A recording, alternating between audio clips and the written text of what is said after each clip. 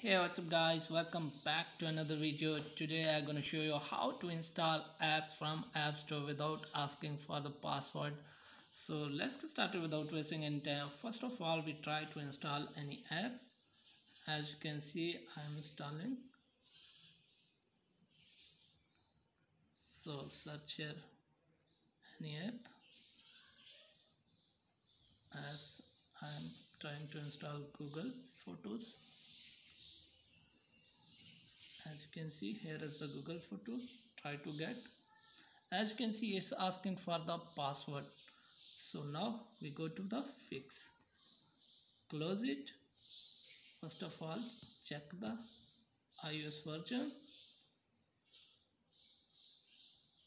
As you can see my ios version is 14.4.2 so now we go to the fix. Open settings and type on Apple ID profile.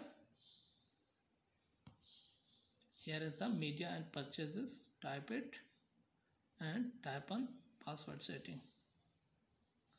As you can see required password is toggle on turn it off done now go back and here is the screen time tap it scroll down and tap on content and privacy restrictions. So as you can see here is the iTunes and App Store. It's selected on the always required. Tap on don't required. Go back and toggle it off. Now we try again. Open App Store. Search Google Photos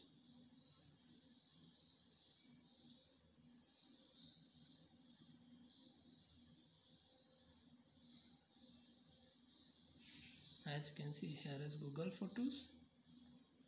So tap to get.